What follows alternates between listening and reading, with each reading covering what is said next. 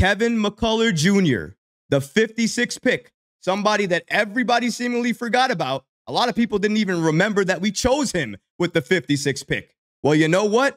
We did. And in the process, by choosing him and adding him to this team, we have now found another defensive monster. That's right. We're talking about players that can come in and play right now.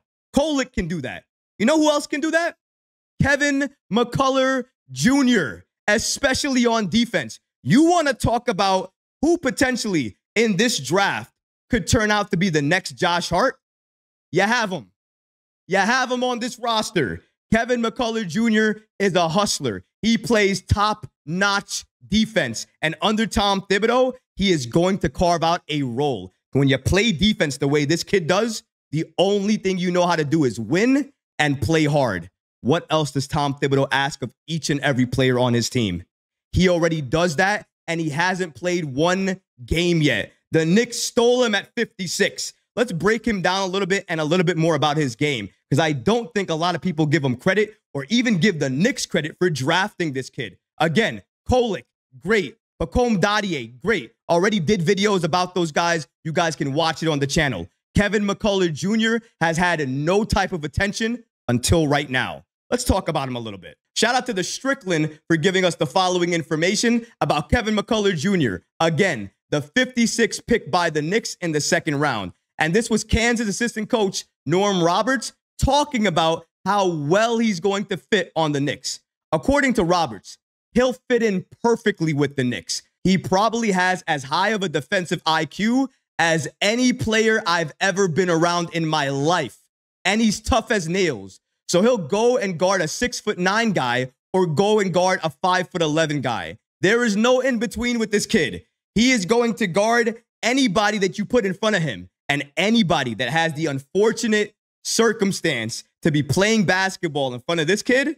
He is going to make you pay. He is going to hound you. He is going to make sure you feel uncomfortable. And then when you least expect it, he's going to steal the ball away from you. This is what this kid is doing. And shout out to Peter Botte, somebody from the New York Post, who gave us the following information on McCullar and what he believes in him. Now, he made the comparison that Knicks' tough as nails draft pick, Kevin McCullar Jr., is very similar to Josh Hart. You have two people, two potential NBA insiders, people who have watched this game significantly for a lot of time, already stating that this kid is a Josh Hart type of player. He plays like Josh Hart. If you ask Tom Thibodeau right now, what players would you like to develop for the future? I'm pretty sure his answer would be get me more players like Josh Hart.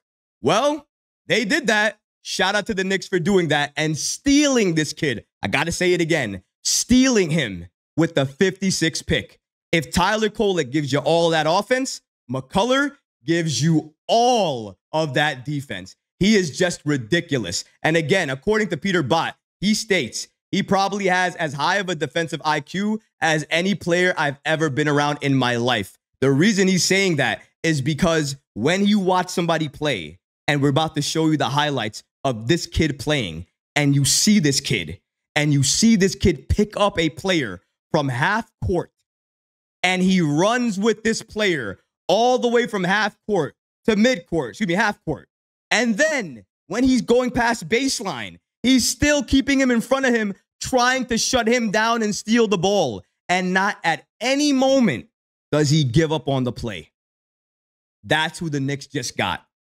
The Knicks have some dogs on the Summer League roster, made up entirely almost of Tyler Kolek, Kevin McCullar Jr., and Ariel Hukporti. But let's take a look of some of the highlights that we have here of Kevin McCullar Jr. There you go. So you see the defense already.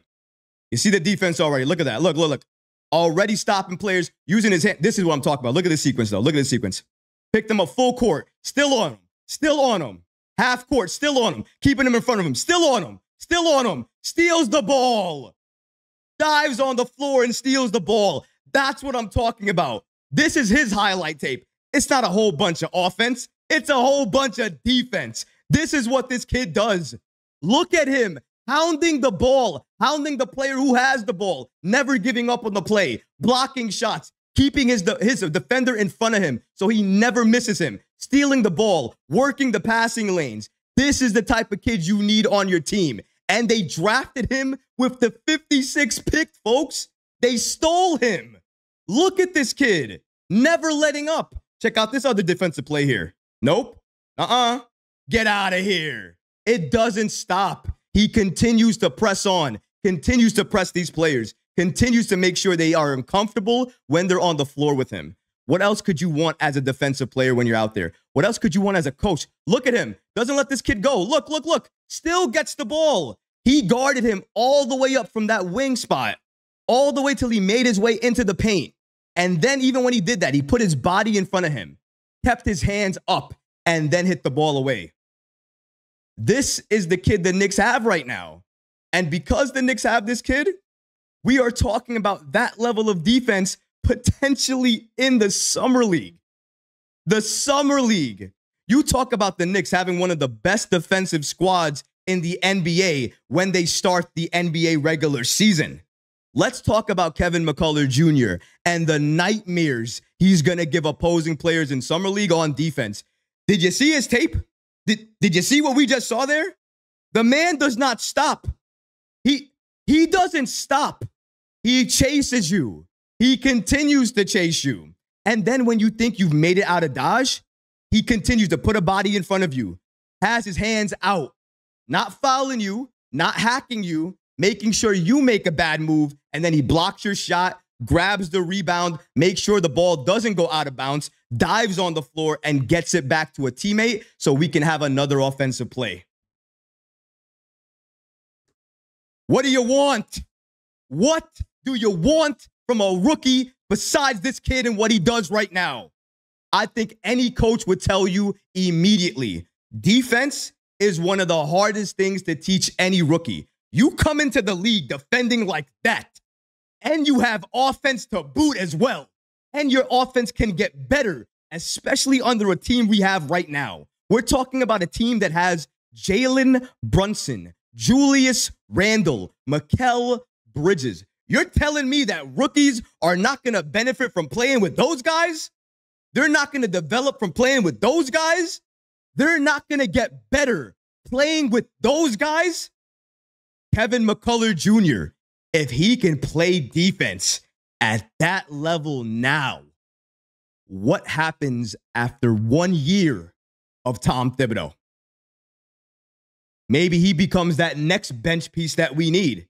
And if that happens, the Knicks are developing their stars for the future. Isn't that what we wanted? Isn't that the goal? Isn't that the goal every year? Improve this roster. Try to make us a championship contending team. Oh, yeah. And by the way, if you can, draft the right players and the right rookies and turn them into something special, increase their value. The Knicks are doing all of that. They've done all of it now. If you enjoyed these clips from the live show, be sure to subscribe to the channel and have notifications turned on so you don't miss any new episodes or when we go live. Thanks for watching, Knick fans, and until next time, peace.